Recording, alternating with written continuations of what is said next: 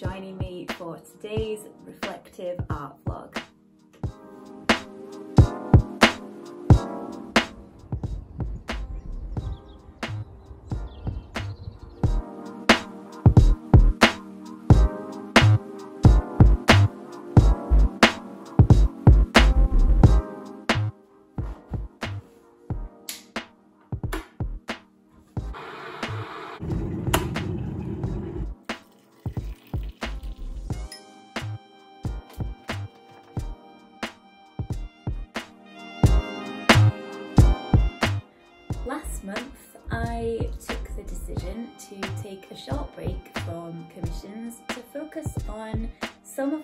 Original paintings. This was a lovely opportunity to reconnect with all of the things I love so much about being an artist.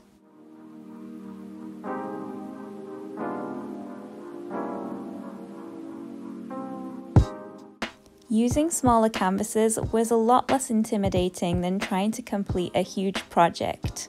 The 5x7 inch canvases were some of my favourite throughout this month.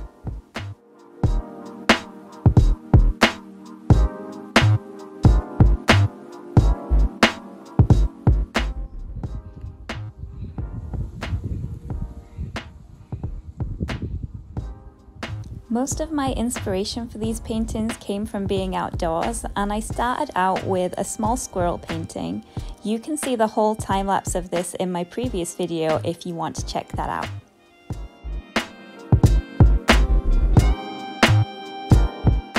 This project has encouraged me to take a lot more photos and video footage of my surroundings, which is something I think I was neglecting to do a little bit before. A fleeting moment can inspire a lot of creativity.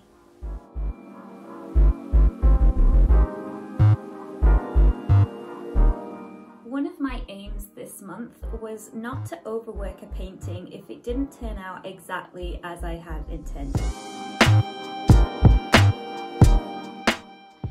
This sky is definitely more luminous than I had in mind, but instead of spending hours overworking the same piece and potentially ruining a pretty cute little painting, I thought it was best to leave it as it was, to learn from that mistake and try not to recreate the same issue in any future paintings.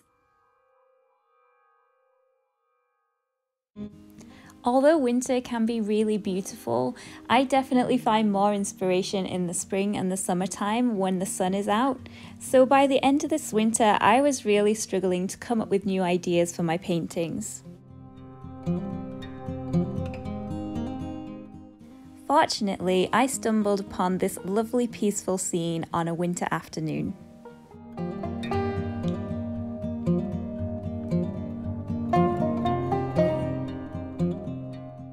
I love the soft lighting and the lovely cool feel of the day, so much that this actually inspired two paintings, the second of which I have a full time lapse which I'll share with you a little bit later on in this video.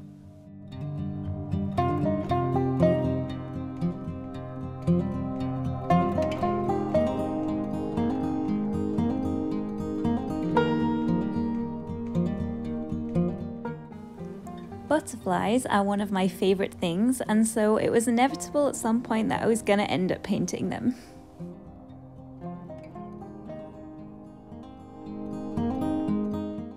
I had to go back in the archives for these photos as they were taken during the summertime, but they gave me a great opportunity to paint something that I love very much.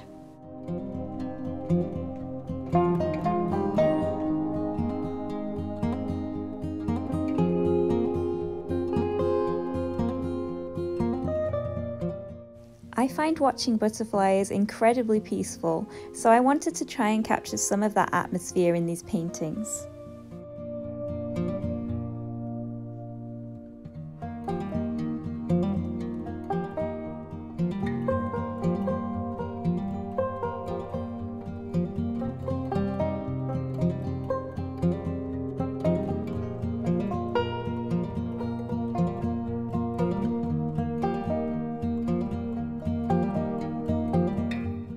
wanted to try some landscapes during this month's project, so I decided to paint this sunset from a late August evening last year. I did not make life easy for myself choosing such a challenging sky.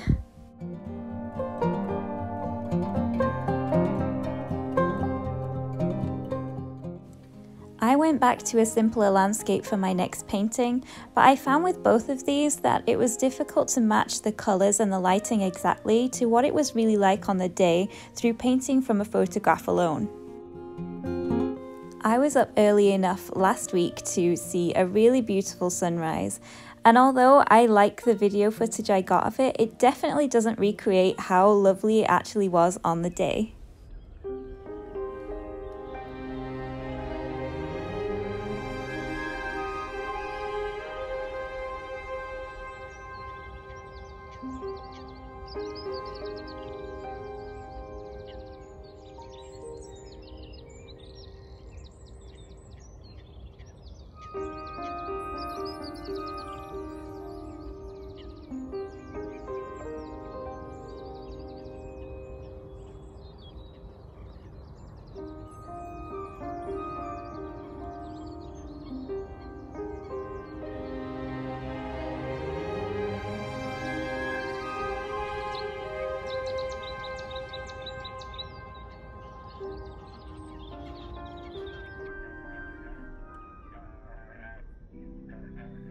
So I think it will be important in the future to try and paint from life en plein air.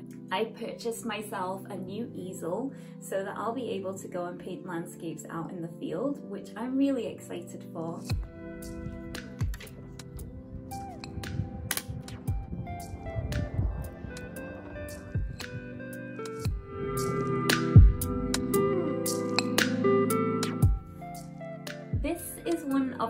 Favourite pieces from this month and I think it's probably because it's one of the first times I was able to achieve a slightly looser feel with the painting.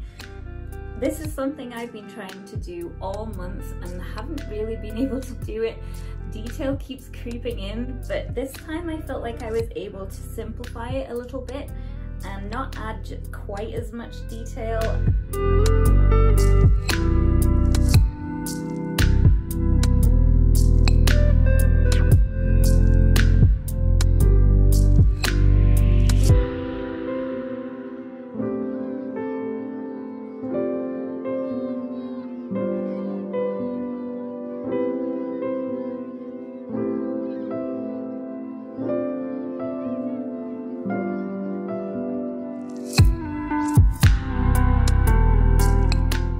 For my next painting, my inspiration came from a lot closer to home.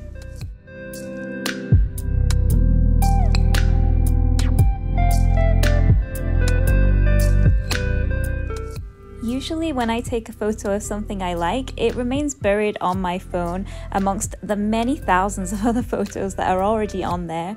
So one thing I've really enjoyed about this process is creating a permanent reminder of those lovely moments.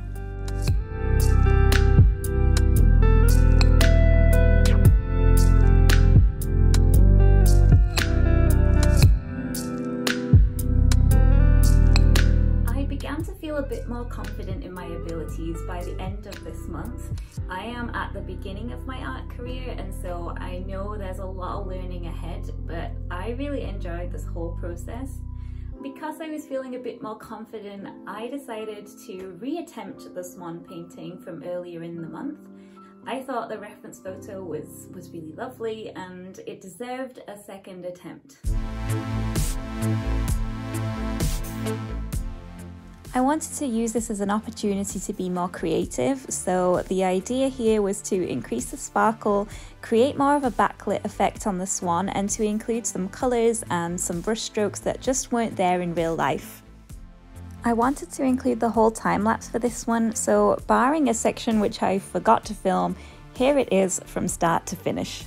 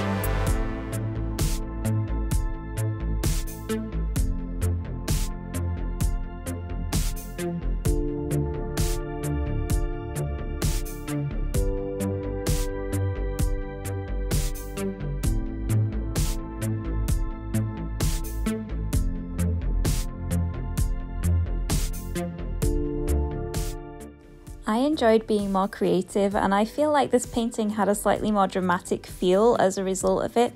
I still like the first, so I'd be interested to know which one you prefer. Um, once you've seen them, please let me know in the comments if you have a favourite or any other comments that you have on the other paintings in this video as well.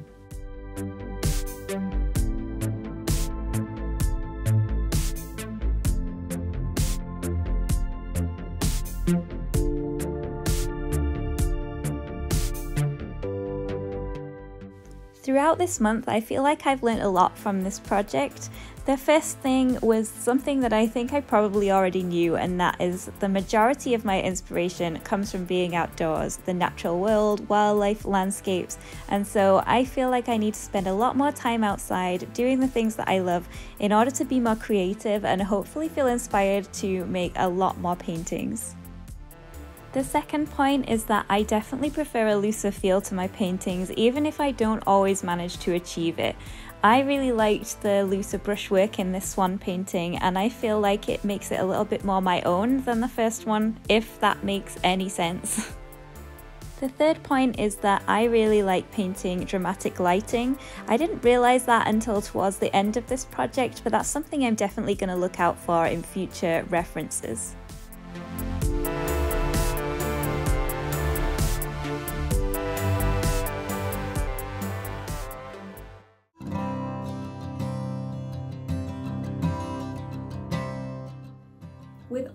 Things in mind, I created this piece, which was the last one of the month. This was inspired by a day a couple of weeks ago where the weather could not decide what it wanted to do, and sometimes it was rainy and sometimes it was sunny. And this photo was taken in the middle of that, where there's this lovely dramatic lighting effect in between the rain clouds.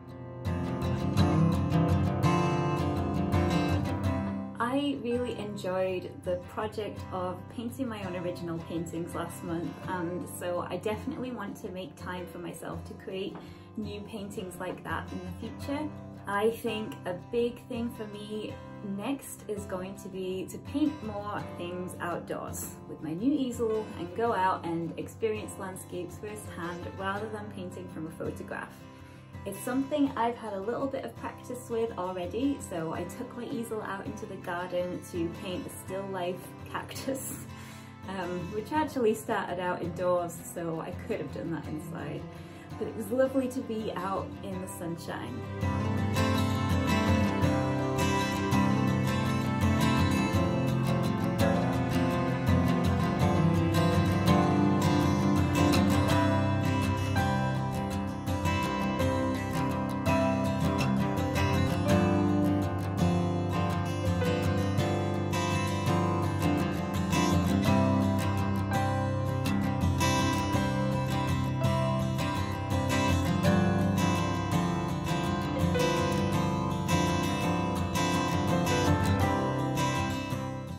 And as spring is arriving, I feel like this is a really great time to explore being outdoors and painting all the things that I love so much.